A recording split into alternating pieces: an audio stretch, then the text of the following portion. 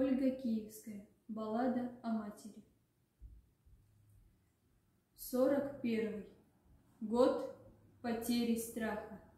Заревом кровавым пламенел. Двух парней в растерзанных рубахах Вводили утром на расстрел. Первый шел постарше, темно-русый, Все при нем, и силушка, и стать, А за ним пацан безусый, Слишком юный, чтобы умирать.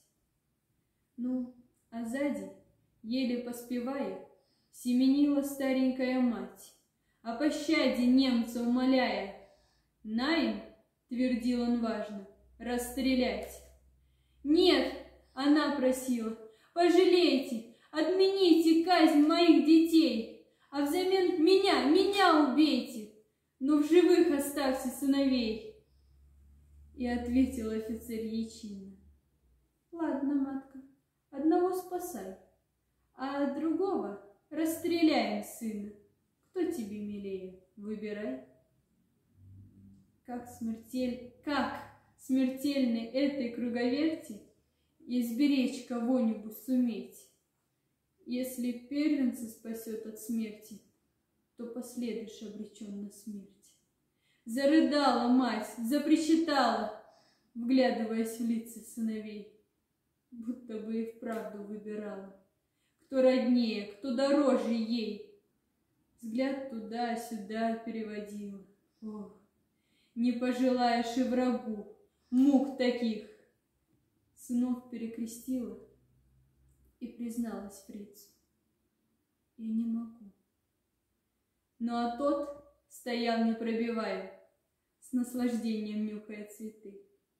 Помни, одного мы убиваем, а другого убиваешь ты. Старший, виновато улыбаясь, младшего груди своей прижал. Брат, спасайся, ну а я останусь. Я пожил, а ты и не начинал. Отозвался младший. Нет, братишка, ты спасайся. Что тут выбирать? У тебя жена и ребятишки. Я не жил, не стоит начинать. И тут учтиво немец молвил. Бить-то! Отодвинул плачущую мать. Отошел подальше деловито и махнул перчаткой. «Расстрелять!» Ахнули два выстрела, и птицы разлетелись дробно в небеса. Мать разжала мокрые ресницы, на детей глядит во все глаза. А они, обнявшись, как и прежде, спят свинцово беспробудным сном. Две кровинки две ее надежды, два крыла, подшедшие под слом. Мать стоит безмолвно сердцем каменеет. Уж не жить, сыночка, не цвести. Дура, матка, поучает немец. Одного могла бы ты спасти. А она, баюкивая тихо, вытирала с губ сыновьев